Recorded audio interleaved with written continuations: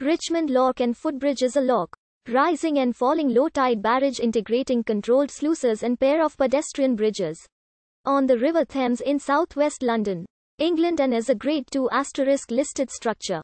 It is the furthest downstream of the 45 Thames locks and the only one owned and operated by the Port of London Authority. It was opened in 1894 and is northwest of the centre of Richmond in a semi-urban part of southwest London. Downstream are Syon Park and Kew Gardens on opposite banks.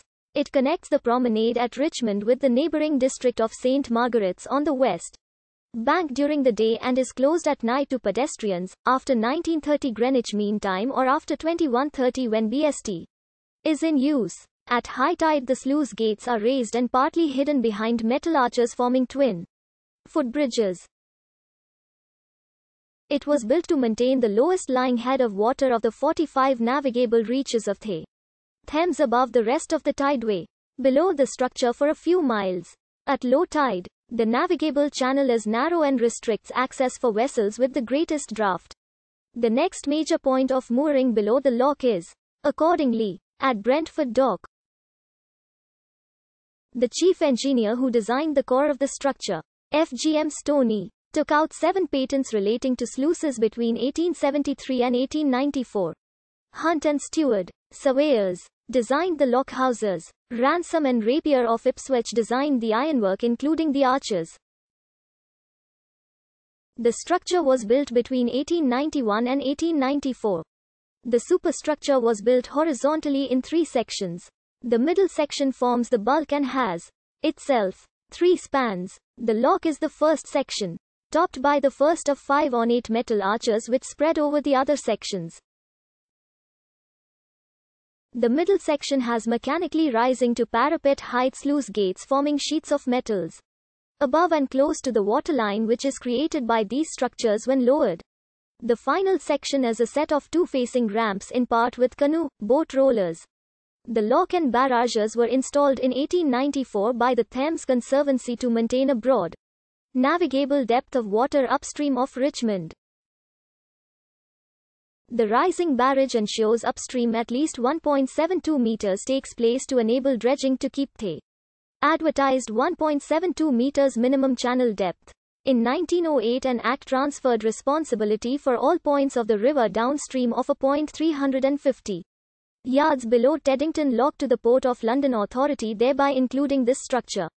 When the London Bridge of 1209 to 1831 was demolished the removal of its bulky and elaborate piers resulted in the tides upstream returning to the rapid flows as they were downstream and before its forming of a near barrier. That bridge was particularly dam-like when it housed 200 buildings in the Tudor period and in depictions at the time of the Great Fire of London which spared the bridge. This change, together with dredging of the lower river and construction of Teddington Lock and Weir, meant that for hours of each day the Thames at Richmond, Twickenham, Ham, Petersham and northern Teddington, was a shallow watercourse running past great mud and shingle banks. The exception was after weeks of above average rainfall when the river is known as in spate however. Such outflow hinders navigation upstream. By the late 19th century water extraction above Teddington had increased to 4 of 5 of the city's main waterworks and after light or normal rainfall more barges found it impossible to navigate the reach during and for hours around the two low tides each day. In 1890, after many years of petitioning, an Act of Parliament was enacted to build the half lock and weir. The Richmond Footbridge, Sluice, Lock and Slipway Act 1890. This is among a small minority of Thames locks not to have been built around an island or islands.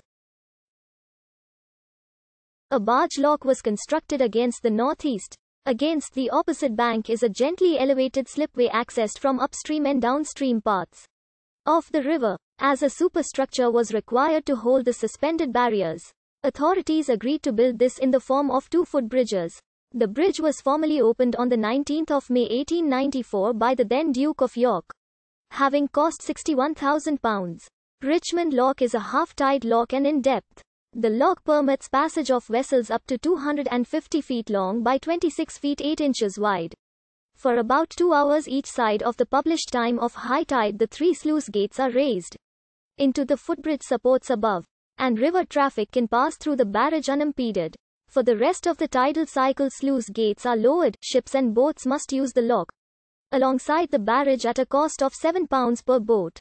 Rowing boats and kayaks can use the roller solid slipways which reach an apex above the height of the barrages. The maximum fall of the lock is 10 feet. The sluice gates were manually operated by lock keepers, who lived in housing mostly contained under the pedestrian steps and landing on both banks.